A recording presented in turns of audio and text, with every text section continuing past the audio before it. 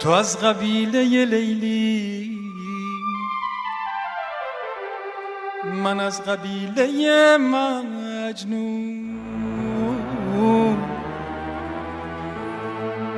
تو از سپیده و نوری. من از شقایق پر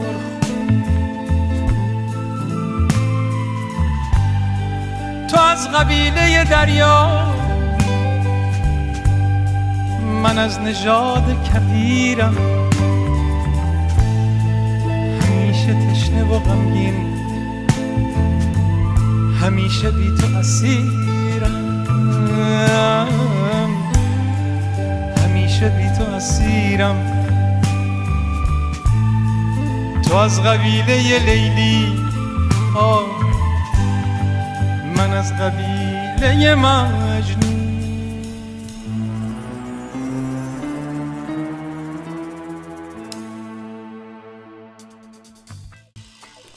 رستم میلاشاری خواننده، نوازنده و آهنگساز او در سال 1339 خورشیدی در زاهدان مرکز استان سیستان و بلوچستان به دنیا آمد. مادر او را نادر و پدر او را رستم می‌خواند. او را شاهزاده موسیقی بلوچ لقب دادند آنجا که او توانسته موسیقی غنی بلوچستان را در پیوند با موسیقی ملل به جهانیان معرفی کند. این لقبی است که روزنامه عمان تایمز در سال 2011 بعد از کنسرت بزرگ وی در عمان به او داده است. پدرش حسین میرلاشاری اهل لاشار بود. اولین قاضی القضات تاریخ بلوچستان که از او به عنوان قاضی عادل، خوشنام و مستقل یاد می‌کند. مادرش شاه سلطان بانویی از سرزمین سیستان و از خانواده شیرانزایی. هر دو صدای خوشی داشتند و رستم از همان کودکی با زمزمه های آهنگین مادر با موسیقی آشنا به گفته خودش نقمه ها، ترانه ها و لالایی های مادر تأثیر عمیقی بر روح و جان او گذاشته و از آنها برای اجرای کارهایش بهره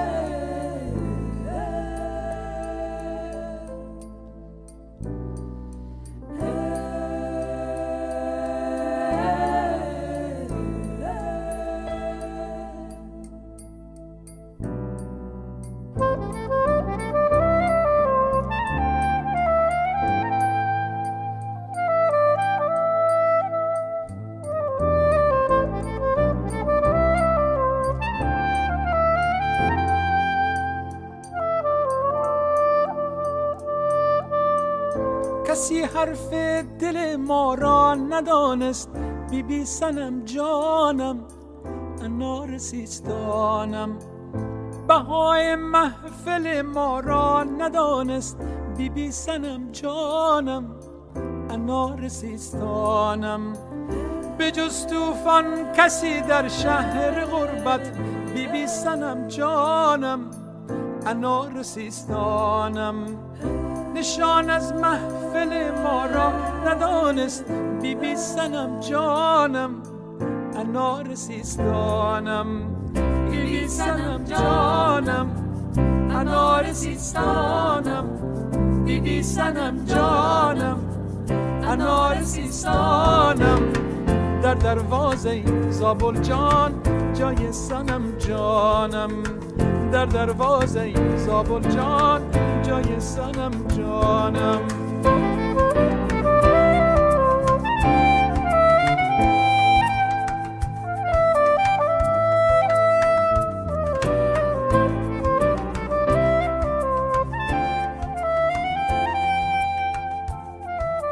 او در خانواده روشنفکر تحصیل کرده و هنردوست بالنده شد.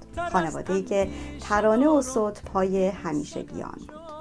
مادر او شیعه مذهب و پدرش اهل تسنن بود. اما با وجود تفاوت‌های مذهبی که داشتند با تفکر آزاداندیش خود و ایجاد فضای امنی در خانه همواره باعث حمایت و تشویق او و چهار خواهر و برادرش بودند که راه خود را به عنوان هنرمند آغاز کنند.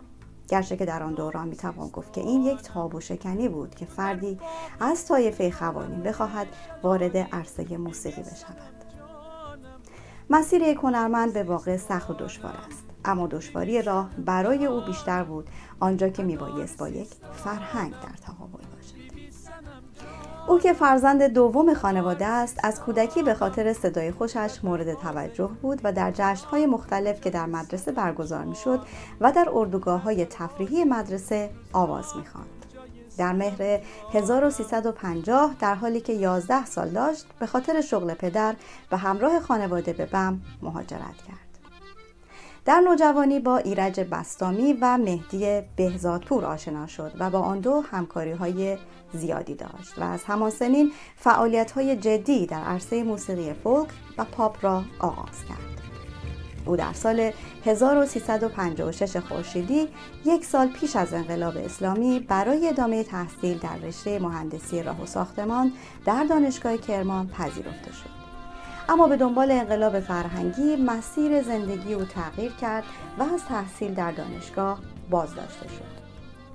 با این حال او در زمینه تحصیلی خودش مشغول به کار شد. اما به دلیل مشکلات و مسائلی که گریبانگیر جامعه ایران در سالهای پر التهاب بعد از انقلاب اسلامی بود راه بر او شد و فعالیت‌های او نه در عرصه موسیقی و نه در عرصه شغلی به سرانجام نرسید او در همان زمان مبارزات مدنی و فعالیت سیاسی هم داشت گرچه که با روحیه لطیف هنری او همساز نبود و گرفتاری های عدیده ای را هم تجربه کرد اما به گفته خودش تلاش های او برای ساختن یک جامعه بهتر در ایران به ثمر نرسید این گونه بود که او برخلاف میل باطنی در نوامبر 1987 میلادی 1366 خورشیدی جلای وطن کرد و عازم پاکستان شد.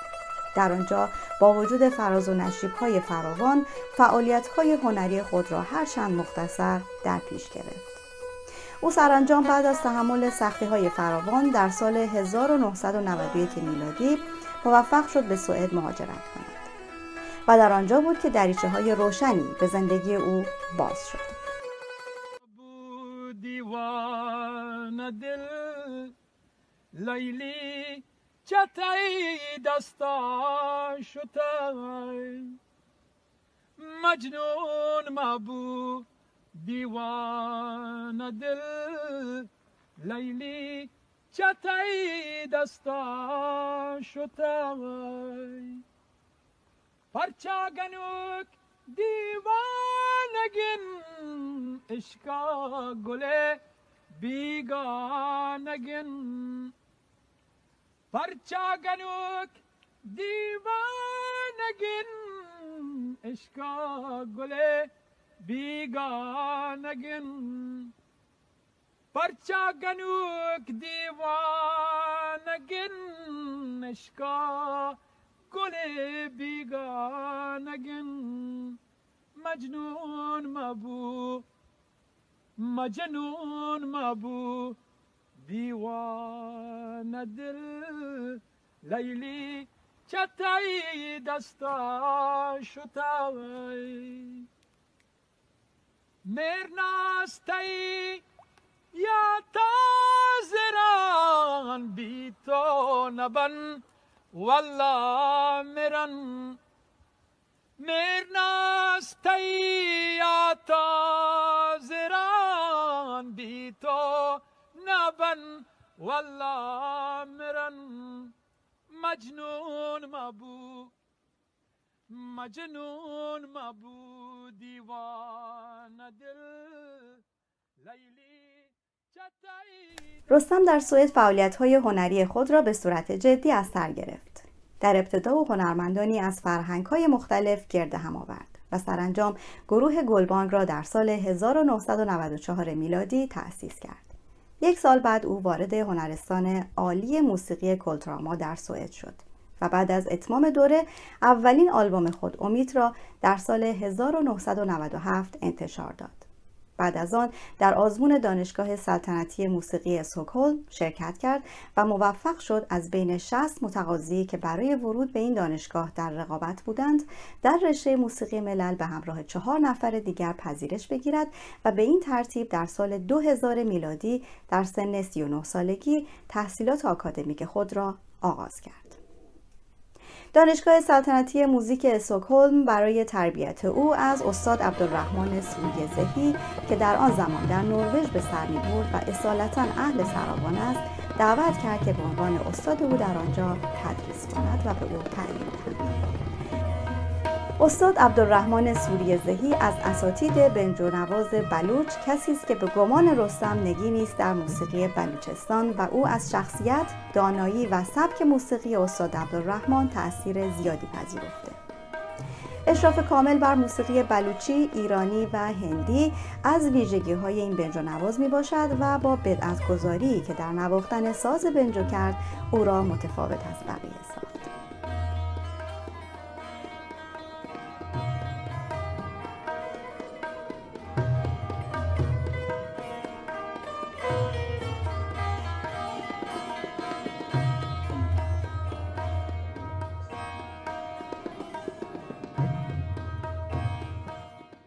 رستم در بینابین گذراندن تحصیلات دانشگاهی خود دو آلبوم انتشار داد. آلبوم دوم او پادیک به معنی خلخال یا زیور پا و آلبوم سومش گلبانگ نام داشت که یک شرکت سوئدی به نام کاپریس آن را تولید کرده. تحصیل او در دانشگاه سه سال به طول انجامید و بعد از آن به عنوان تهیه کننده کنسرت ها در دانشگاه استخدام شد و به این ترتیب پلی برقرار کرد بین محیط آکادمیک و جامعه. او آلبوم سوم خود سالینو را بعد از اتمام دوره دانشگاه و در سال 2003 منتشر کرد. رستم اولین کنسرت ها و تولیدات خود را به عنوان تهیه کننده به همراه گروه های موسیقی مختلف در کلیسای شیستا واقع در استکهلم برگزار کرد و از آنجا بود که جشنواره جهانی شیستا در سال 2001 پا گرفت. جشنواره که با هدف آشنا ساختن مردم با موسیقی فرهنگ های گوناگون جهان همه سال برگزار می شود و امروزه هنرمندان بزرگی در این جشنواره هنر خود را عرضه می کنند. Hej allihopa! Välkomna till Smak! Vi ska prata om mat, om livet och spela musik med varandra och ha det väldigt gott. Together we are presenting songs of struggle and freedom inspired by Nina Simone. På Kista världsmusikfestival. Zusammen mit Festival wurde vor 20 Jahren von unserem Kollegen Lothar Miklashadi der Sue Roshani gelmişti. Hoppas vi ses där! En smakfull och stjärnspäckad musikupplevelse i konsertserien Smak. Världens musik i Rostam Mirlasharis kök.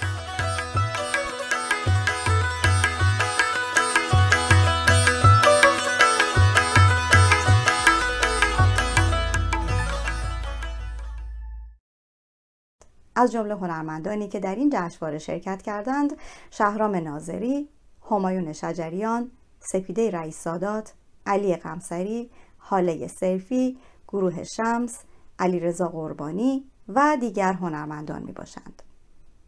هر سال 20 تا 30 هنرمند در این جشنواره از سراسر جهان شرکت می کنند. جشنواره‌ای که علاوه بر کنسرت موسیقی برای بزرگسالان و نوجوانان سمینار، ورکشاپ و رقص هم در آن برگزار می شود.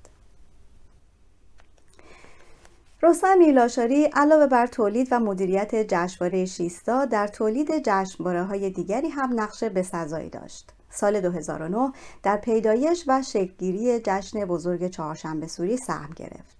و همراه با تئاتر ملی سوئد این همایش بزرگ را مدیریت کرد.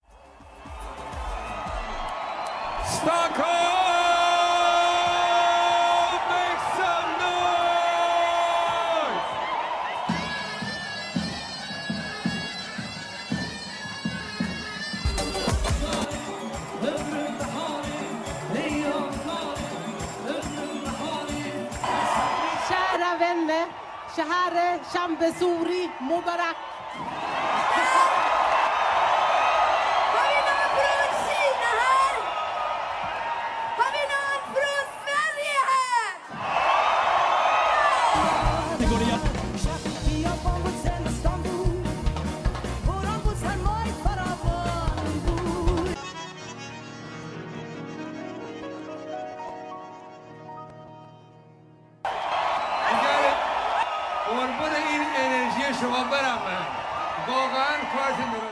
بعدها جشنواره به نام فمین ایست را بنیانگذاری کرد که با همکاری تئاتر ملی سوئد انجام شد. این جشنواره به نوعی صدای زنان مشرق زمین است که در سرزمین خودشان به هر دلیلی نمی‌توانند هنر خود را عرضه کنند. این جشنواره از سال 2018 میلادی کار خودش را آغاز کرد.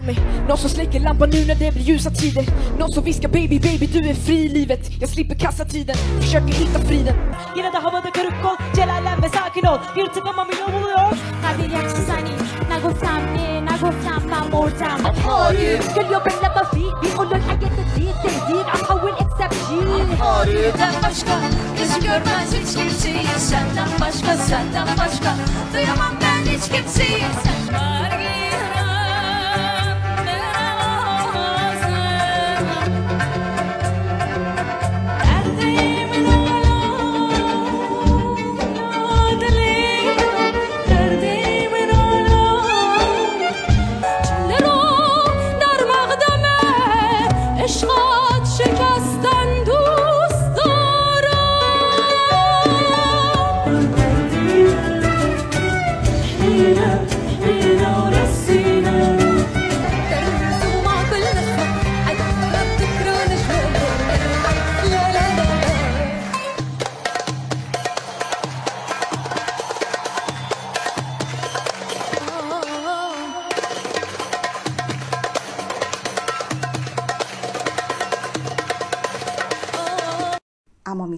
گفت. نقطه آغاز شهرت این خواننده سال 2007 بود. زمانی که او با ترانه آرمان در مسابقات یوروویژن سان کانتست شرکت کرد. این ترانه به سه زبان فارسی، بلوچی و سوئدی اجرا شد و با استقبال زیادی روبرو شد.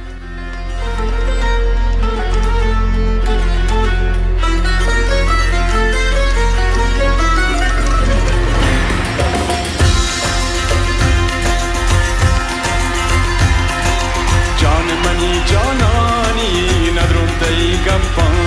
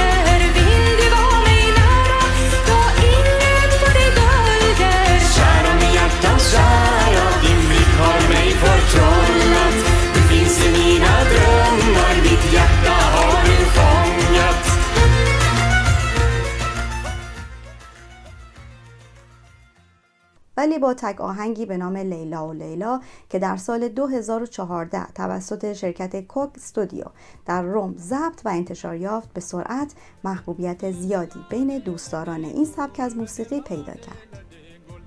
این ترانه که در اصل یک ترانه محلی بسیار قدیمی است رستم آن را با سبک ویژه خود بازخوانی کرد و با آن بیش از پیش به شهرت رسید. بیاتر بران سیلا مجازی لیلا لیلا و لیلا بیاتر بران سیلا مجازی لیلا مجازی لیلا مجازی لیلا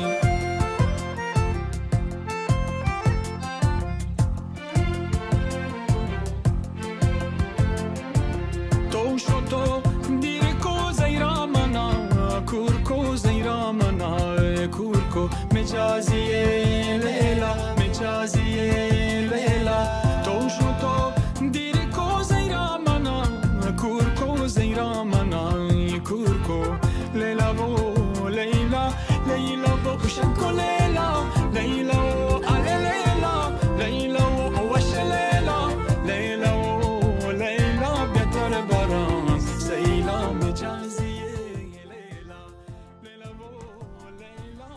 رستم دو پسر دارد میلوس نوهان و بامشاد.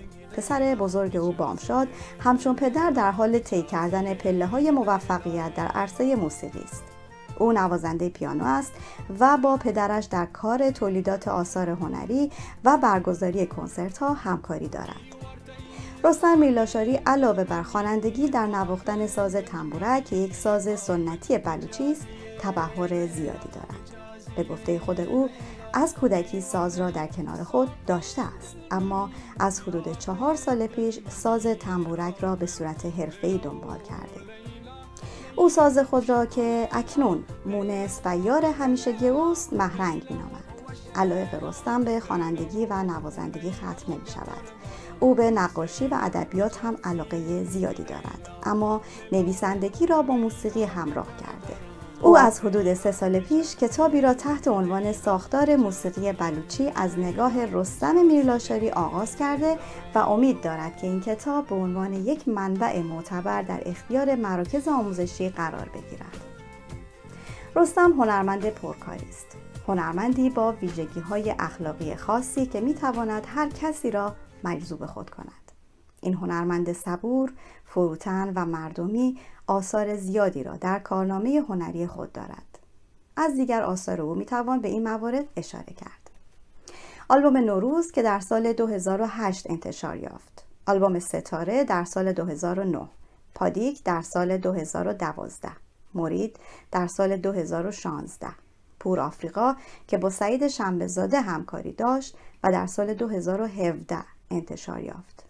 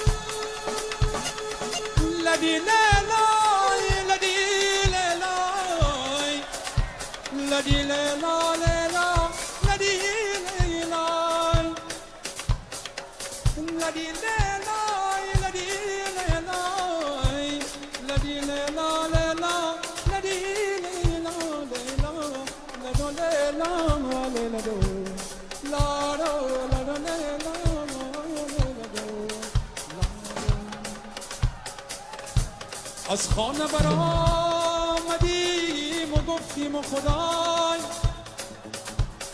از خانه برآمدیم و گفتیم و خدای از یاری عزیز خود شدم زنده جدایی مردم ز غمت جانانی از یاری عزیز خود شدم زنده جدایی.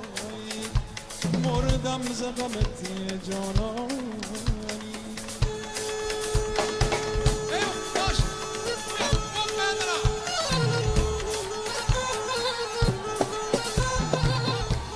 در سال 2021 میلادی موفق به دریافت جایزه معتبر فرهنگی استکهلم شد و اینگونه از او به دلیل عمری تلاش هنری و اثرگذاری در فرهنگ و هنر آن شهر و تنوع بخشیدن به گوناگونی های فرهنگی آن قدردانی کرد. Mirla Shari är en lysande sångare och inspiratör av rang för generationer av musiker. Utbildad i Iran och på Musikhögskolan i Stockholm blandar han persisk sångtradition och folkmusik med klassisk musik ifrån den iranska provinsen Baluchistan. Hans uttrycksfulla, silverklara sång berikar den nordiska musikscenen, ofta med grupperna Hadik och Golbang. Rostam Mirashari är också motorn bakom Kista världsmusikfestival, ett allt viktigare nav i Stockholms kulturliv. Grattis! Tusen tack, tusen tack. Jag känner mig väldigt hedrad. Ville bara först och främst tacka alla musiker som har hjälpt mig, som har trott på mina visioner och har spelats under alla dessa tider. Hundratals musiker från Stockholm, resten av Sverige och även ute i världen. Sen vill jag tacka som konsertproducent även publiken som har varit på våra evenemang, har stödjat och eh, alla artister som har eh, kommit till eh, de festivaler som jag arrangerat och eh, ville tacka eh, Sverige i stort.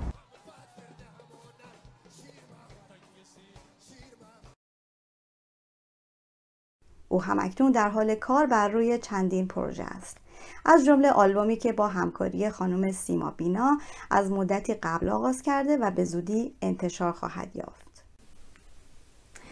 رستم در دسامبر 2020 با همکاری پسر بزرگش بامشاد گروه روژناک را تأسیس کرد. گروهی متشکل از هنرمندان جوان در سبک فیوژن. در این سبک ما شاهد تلفیق موسیقی و شعر بلوچی با سبک های مختلف موسیقایی می باشیم جایی که استایل ها و سبک های مختلف موسیقی در هم می و شعر و موسیقی بلوچی به آنها رنگ تازه می اولین اجرای این گروه تازه تأسیس در مراسم چهارشنبه سوری همان سال در استکهلم برگزار باز کلندر منی با جلال کلندر.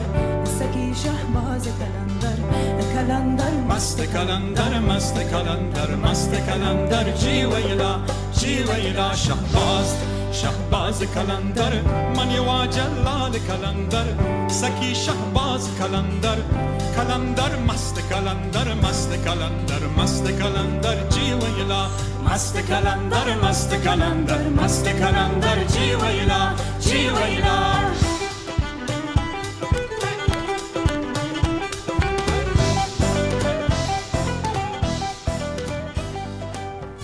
فعالیت های این هنرمند خوشنام همچنان ادامه دارد و به زودی آثار زیادی را از او خواهیم دید و شنید. زیبا من گنا چی کتای بلبلی نالا گشان او زیبا من گنا چی کتای دوشی شب باسا دلبر چبا باستا. دوشی شب باسا او دلبر چدا باستا. هما دلوا جانی دلوا ندرو دلوا منی سورتا. او زیبا من تی گنا چی کتا بلبلی نالا گشان او زیبا من تی گنا چی کتا